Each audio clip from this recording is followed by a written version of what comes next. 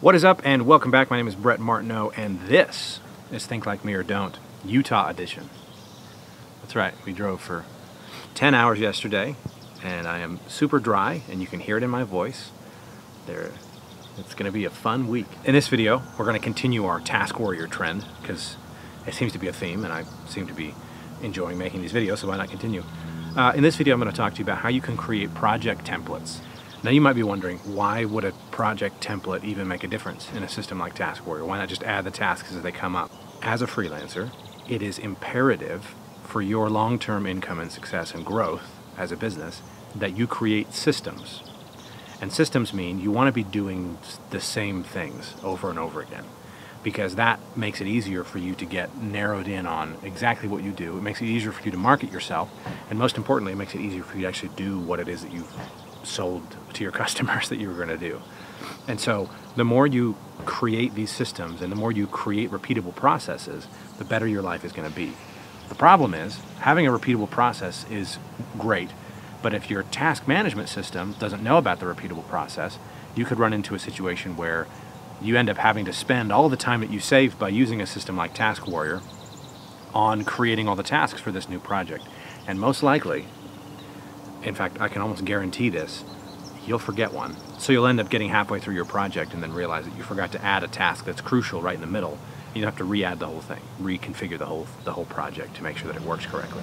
It's very, very important, A, that you have systems and processes and repeatable tasks that you're actually doing for your clients, but B, that that repeatable process, that project, is built into the task management system. So I say that only because what I'm about to show you is a little bit technical and it is a little bit involved, but it's worth understanding and knowing. And I've actually done most of the hard work for you. I've done the research to figure out exactly how this works and what you need to do. So all you got to do is copy exactly what I tell you to do, and you'll be fine. Now, at the end of this video, I am going to show you a little trick of how you can create dependencies within the tasks of the project so that when you create the project, you run your little action, it'll create all of your tasks and it will also create the dependencies, meaning Taskwarrior will already know which tasks have to wait for another task to be done before they can be completed. If you have questions, make sure to drop them in the comment box below. Let's get into it. All right, so you may remember uh, I made a video a little while back uh, talking about how you can create your ever updating dashboard. And we use that command called while true. Remember that? If not, don't worry about it. There's a thing you can do inside the terminal where you stick a double ampersand between two separate commands, and the terminal will treat them as one. It'll run both of them. So whereas before you'd have to type in task add record video and then task add edit video, etc., etc., etc. for all these tasks, you can actually just run them at once. So if we just do task add record video, double ampersand, task add edit video, it will add both of them at once. So what that means is you can actually create a text file, and we'll do so just in Nano, uh, project, you can just create a text file that has all of the tasks that you want and then just put an ampersand in between them. So you could just say task add record video, uh, double ampersand task add edit video, ampersand task add upload video. Right? And now every time you want to run this project, you just copy this text drop it into the terminal, and you have your whole project there. It's pretty straightforward, pretty simple. Now, th this is something you would have to actually copy and paste every time, and it gets a little bit more difficult when you have to go find that file and copy the stuff in and paste it and do all that kind of stuff.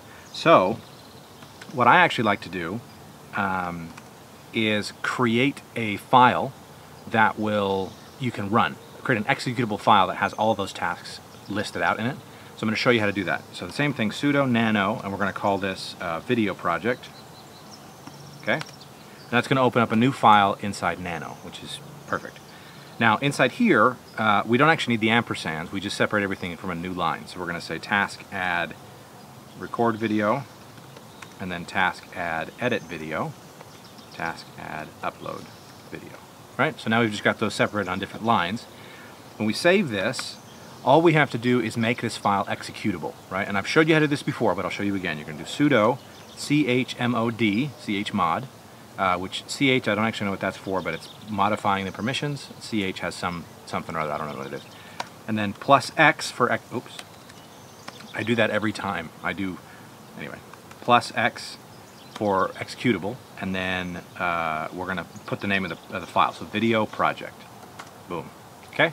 Now, if we just do period and then backslash, and then the name, video project, it will run that file and it will create all those tasks for us. So, what that means is, if we create a list of these projects and we put them into this file, instead of having to go copy and paste the whole thing or cop add all those projects, those tasks one at a time, we can just run the, the file and it will automatically go for us.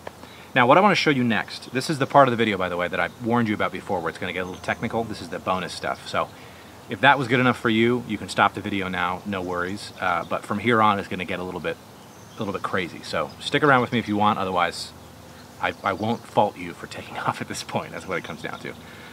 What we want to do now, if you saw, so the, the recording and editing and uploading a video, you can't upload the video until you've edited it, and you can't edit it until you've recorded it, right? So when we create these tasks, even if we run the file like we just did, we're going to have to go back and create those dependencies.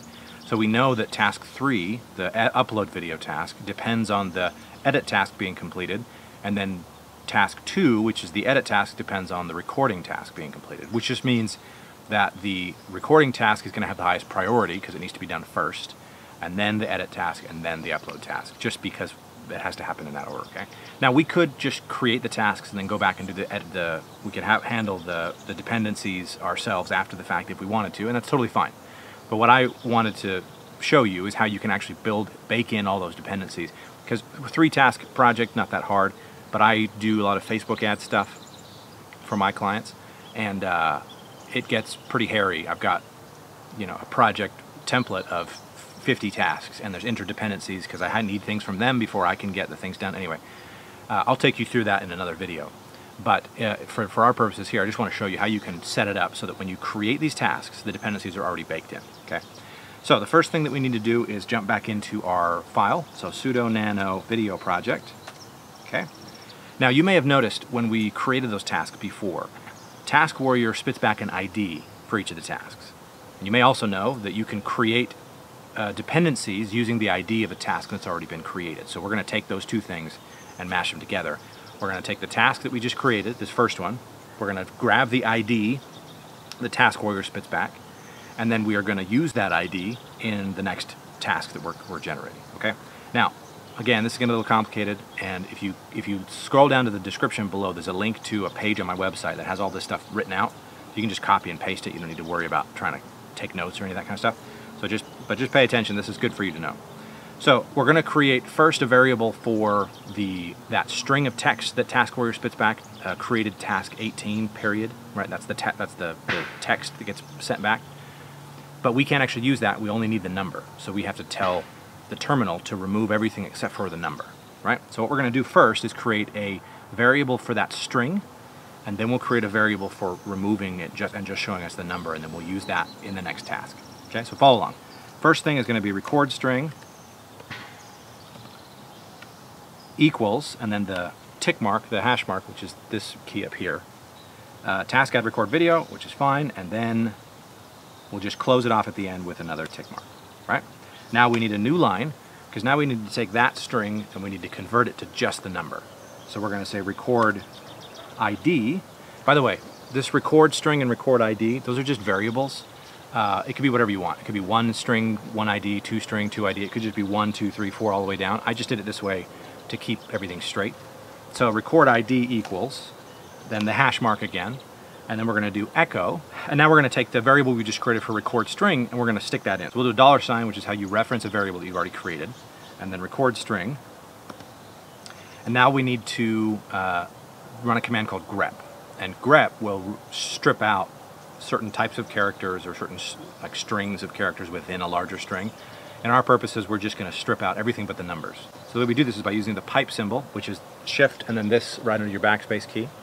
So the forward slash uh, and then grep, G-R-E-P, dash lowercase o, dash uppercase e, and then this part here, don't, just copy and paste this.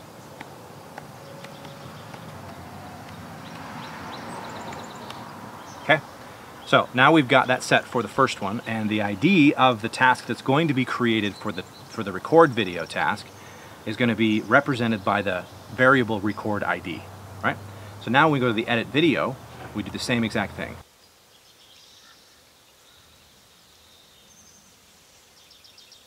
Now, one thing we need to add here is that we want this video, this edit video task to depend on the ID from the record video. So we're going to add in depends colon, and then remember we can use the variable with the dollar sign, so dollar sign record ID, right?